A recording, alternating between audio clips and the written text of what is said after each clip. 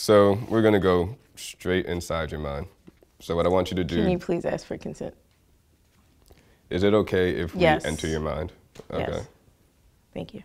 no problem. Welcome to Inside My Mind, where we get into celebrities' heads to see what's really going on in there.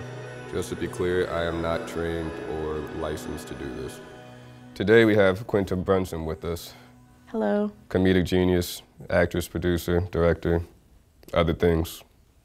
Exactly. So today we are going to go inside your mind, and hopefully we'll get to know you a little better. Hopefully you'll get to know yourself a little better. I hope so. I'm ready. Relax yourself. And as you're doing these breaths, I want you to think of a mantra that you can say to yourself. Something that'll put you at ease. And on every exhale, just say it out loud. Belly button nipple.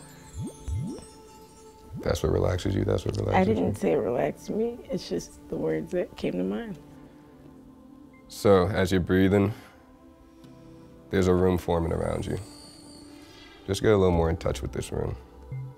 What does this room look like? It's a white room with four corners.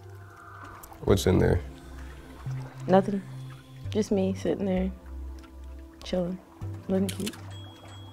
How do you feel in this room? Good. I like it. It's a good space. You feel safe? You feel comfortable? Mhm. There's a door. All right, well, when you're ready, let's uh, get up and walk through that door. I'm I'm through it. Should I have told you that? Yeah, that would have been Oh, helpful. okay. I'm Yeah. through the door. All right. So now we're in a new environment. It's a bunch of flowers, a bunch of beautiful flowers everywhere, and they're like growing on vines. Tell me a little more about these flowers, the colors. They're like wildflowers, and they're like hand drawn, um, like that old drawing of that that cartoon that we used to watch when we were little. Is that little man with the big pencil? The big Oh, I remember. You know what oh, I'm talking about? Yeah, Harold. Yeah. But it looked like he painted these flowers, and I'm just walking in there, looking around and stuff. Let's look up. What's the ceiling look like? Uh, like I don't know, and this like black pit-looking thing, like, oh my god, it looks like in Stranger Things when um, The upside down. yeah, but they got barbed, but they're not about to get me. You feel any presence of anybody there? No, it's just dirty and barren and black and like, it's like it's just gross. But I've brushed it off. I'm up already. I'm about to walk out of here. Hey, Yeah, let's walk out. Let's say this room you just walked into is a garage. Mm-hmm. And in this garage, there's a bike. You get on the bike, and you're just traveling through. How's the scenery looking? Is it changing? Yeah. It's going from like city. I'm just like a bike messenger now. I'm not even me anymore. I'm like a guy named Greg on a bike. Riding around, just trying to get to my next job, you know? Hard out here in the city. Almost got hit by a car. What kind of car was it? I don't know. It was like a big moving truck. You get out to cuss the driver off. No, I don't have time. I need to drop off these pizzas. Greg's over it. I don't want to be Greg anymore. Pull it to the first mirror you see, the first reflective surface. And whatever you see in there, whatever Greg looks like, try to shed Greg. Try to shank him? Yes, everything that's making you Greg, just take some breaths and get the Greg out. So what kind of surface did uh, you look into? Was it a window, a mirror? I went into my apartment. It's cute. Oh, what's your apartment look like?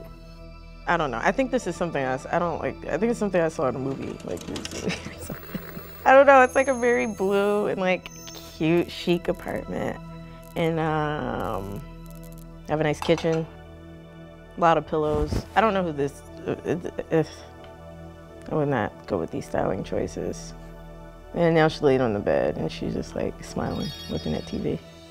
So maybe this is a good point to kind of come back.